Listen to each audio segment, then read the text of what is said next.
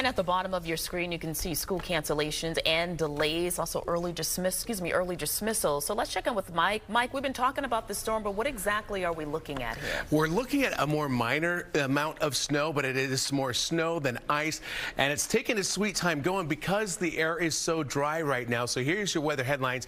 It's cloudy, it's cold, cold and dry at the same time. So sometimes it's actually falling from the cloud base, the snow is, uh, but it takes a while to actually reach the ground because you have to saturate the atmosphere with some more moisture. So light snow is coming in. Heavier snow is down to the south. In fact, there it's already snowing in South Jersey.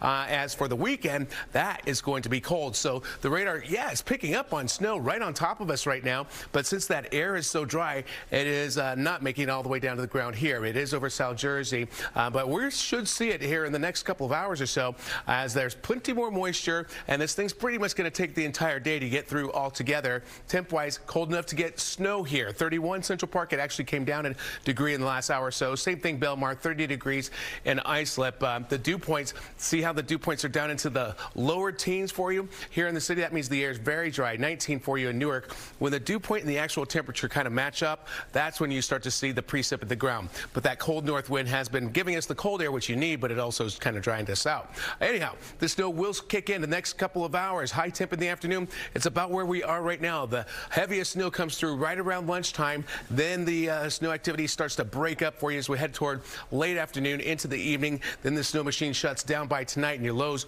drop down into the teens. Outlying suburbs, we're going to talk about some single digits in places like Monticello as well as uh, Sussex for lows tomorrow morning. Then the highs in the afternoon. It's that Arctic air. One getting up into the low to mid 20s for you on Saturday, maybe a little better on Sunday. But snow totals in the end, most of us around one to three inches of snow, somewhere in that three to six inch range for you for the central and southern sections of New Jersey. So that's where there is more significant snow. Again, it should start in the next couple of hours, but we got to wait for that atmosphere to saturate. Uh, your high temps at 32, pretty much where we are right now. And the snow shuts off by tonight. Cold this weekend. The next storm involves rain, but that's not for quite a ways down the road.